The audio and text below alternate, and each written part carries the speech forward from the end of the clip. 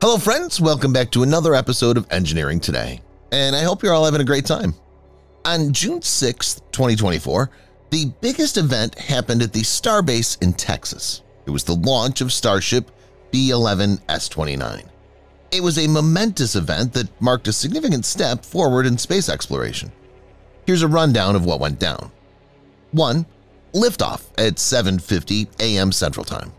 Starship blasted off into the sky. It was a sight to behold as the massive rocket soared upwards, leaving Earth behind. 2. Hot stage separation. After the initial ascent, there came a crucial moment where the Super Heavy booster separated from the Starship. This separation went smoothly, and it set the stage for the next phase of the mission. 3. Booster Splashdown The Super Heavy booster, having done its job, gracefully descended back to Earth. It performed a controlled flip maneuver and then splashed down gently into the Gulf of Mexico. 4. Ship 29 in space.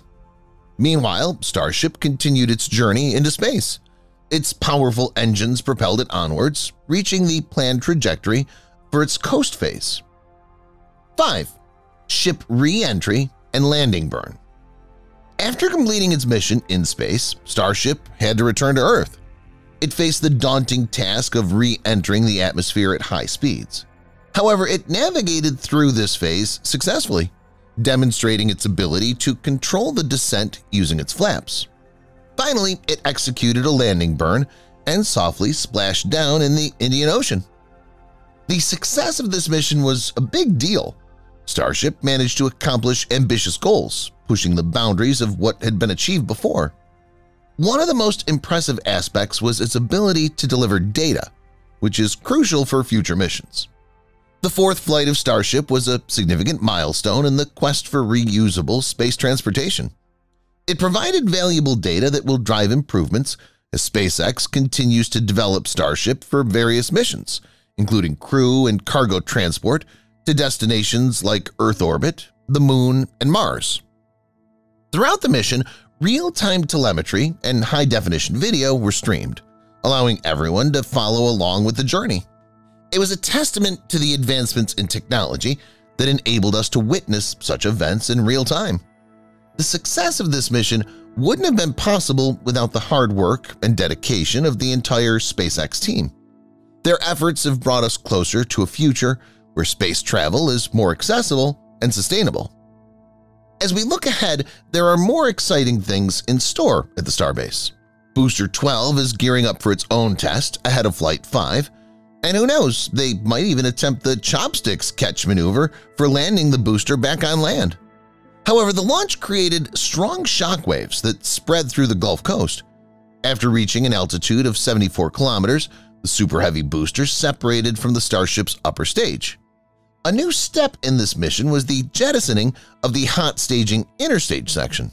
SpaceX implemented this temporary measure to reduce the mass of the booster, aiding in its eventual landing.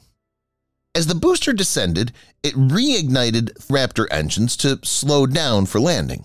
This allowed it to make a controlled descent and land in the Gulf of Mexico. This wasn't a traditional landing on a pad, but was significant because the booster reduced its speed to zero at the ocean's surface before toppling over. This controlled descent and landing was a primary goal of the mission. The launch began as planned, but one of the 33 Raptor engines on the Super Heavy booster failed to ignite. Despite this issue, the mission continued without significant problems. The Starship spacecraft followed its planned suborbital trajectory, Unlike a previous launch in March, which experienced rolling issues, this flight was stable. The spacecraft provided live video through SpaceX's Starlink satellites, showing dramatic views of the reentry phase, including the plasma field surrounding it. During reentry, Starship passed through the maximum heating phase without major issues, although there was visible damage to one of its flaps.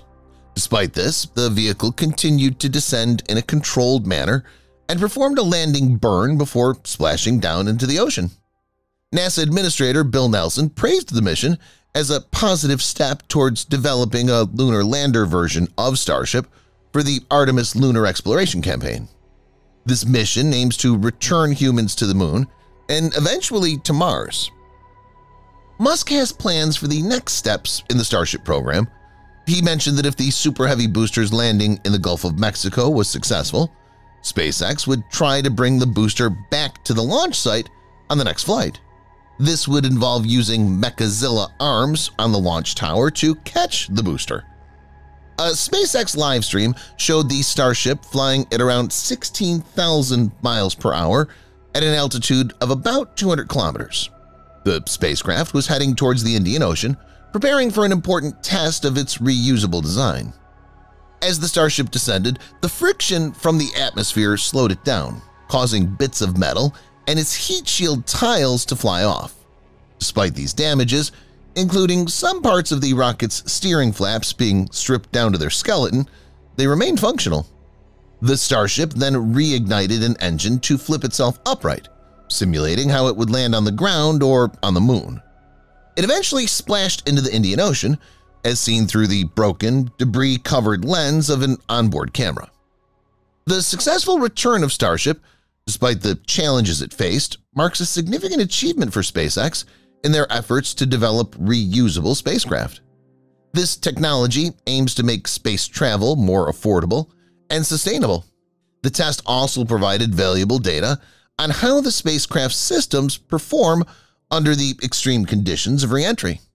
This information will help SpaceX improve the design and reliability of the Starship, bringing them closer to their goal of making space travel more accessible.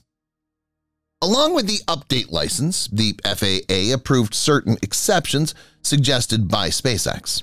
These exceptions are aimed at reducing the time between flights by allowing SpaceX to skip investigations for certain types of damage if they don't compromise public safety. There are three specific exceptions approved by the FAA.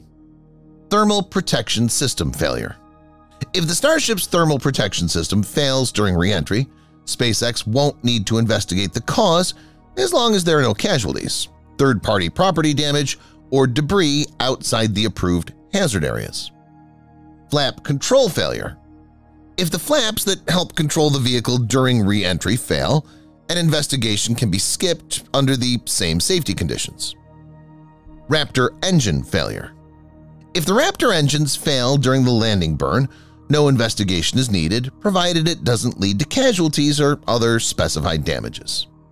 These exceptions will help SpaceX expedite its testing and development process for the Starship program. As we look ahead, there are more exciting things in store at the Starbase.